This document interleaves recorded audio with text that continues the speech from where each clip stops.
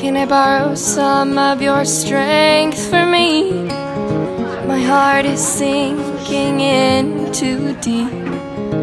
Just one straw off my back will ease the load. Please, can you spare some dignity?